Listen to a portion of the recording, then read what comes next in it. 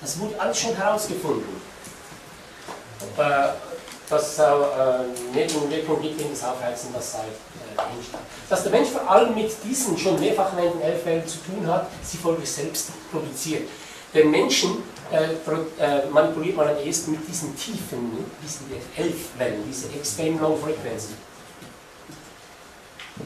Und wir selber produzieren unsere eigenen elf Wellen und das ist dieses Thema mit den Gedanken respektive den daraus aufgebauten Emotionen.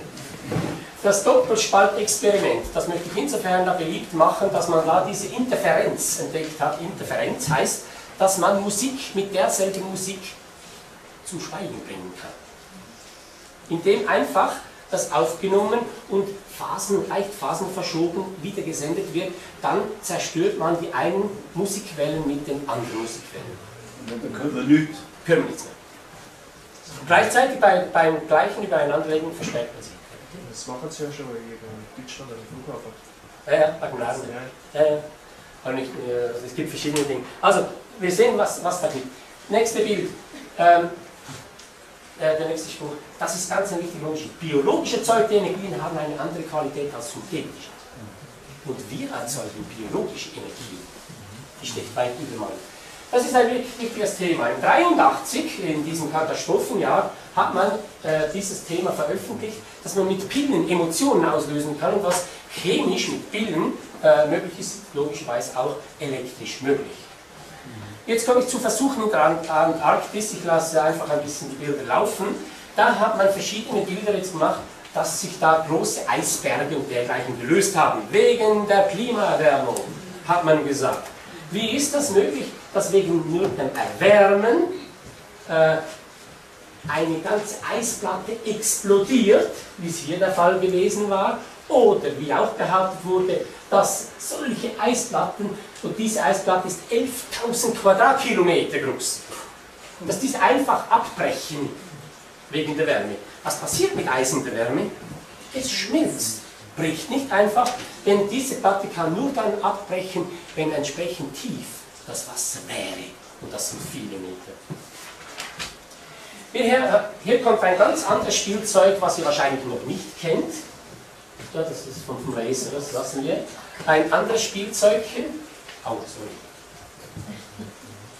Ähm, man kennt ja Tricks, dass man mit Mikrowellen äh, äh, protestierende Menschen in Schranken weisen kann. Mit Mikrowellen kann man nämlich die Flüssigkeiten aufheizen. Das ist ein Mikrowellengerät. Man beachtet diese kleinen Menschen, hier die Dimension, da drin steckt das. Das ist auf das Meer geführt worden, so sah es aus und die kleinen Menschen sehen, erkennt ihr ungefähr die Dimension. Dasselbe Prinzip gibt es so ähm, im Armeeformat, um die Leute ähm, äh, zur Ruhe zu zwingen. Und als dieses Schiff draußen war, haben diese Versuche gemacht, bitte beachtet diese Wolkenformationen, die da draußen standen sind. Seht ihr das? Diese symmetrischen äh, Wolkenbilder da ja, ja. und da drüben.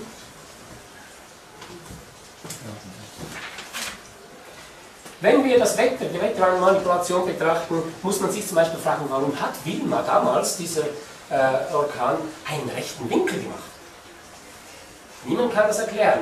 Warum hat sich, übrigens neben da draußen ist am stärksten gewesen, äh, ungefähr Stärke 5, und äh, als da die Catherine nach New Orleans kam, hat sie nur noch zwei oder drei Stärke. Was aber noch viel interessanter war, das war der dritte, die Rita da unten. Denn äh, dank dieser Rita hat man nicht nur für die Wirtschaft Arbeit erzeugen können, sondern es war die erste und größte Evakuation, die jemals gemacht wurde. Also man hat eine ganze Stadt evakuiert und die Polizei respektive Armee ging dann kontrollieren. Wie ist das möglich, dass ein Hurrikan, also ein Wirbelwind in der Stadt entsteht, wie hier damals inmitten von Cordoba in Argentinien? Dieser, dieser Wirbelsturm äh, kreiste durch die Stadt. Das stellen sich schon tatsächlich einige interessante Fragen.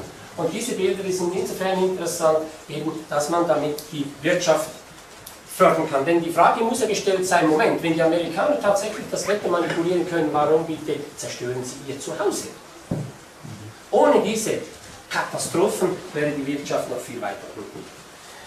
Im Thema HARP, respektive ähm, Klimawandel, ist immer noch der Streit, ob Treibhauseffekt oder ähm, Eiszeit. Und dies habe ich jetzt deshalb eingeblendet, weil schon 1872 herausgefunden wurde, dass eine Technik gibt, dass man Telefone über den Boden, durch den Boden senden kann mit guter Qualität. Warum komme ich darauf? In unserer lieben Schweiz gibt es ein kleines Ländchen, ein, ein Stück Boden, das gehört den Amerikanern. Das ist das da, in Leuk. Das ist eine amerikanische äh, Station. Und mit HARP hat man eben herausgefunden, dass man die sogenannten Elfwellen durch Gestein senden kann. Und zwar komplett durch die, durch die Erde hindurch. Denn man muss sich wirklich fragen, wie kommt es, dass man in einem solchen tiefen Tal, in diesem Loch, so viele Antennen hinstellt, wenn es nicht mehr Wasser hat. Könnte es sein, dass solche Details äh, bekannt sind und dass man aus diesem Grund dieses Thema da so in die Wege geleitet hat? Dass alles verschreddert wird, äh, was das Thema CIA betrifft? Könnte es auch sein, dass da auch noch was anderes rausgekommen wäre, nämlich, dass der CIA und der CERN in Genf sehr eng miteinander arbeiten.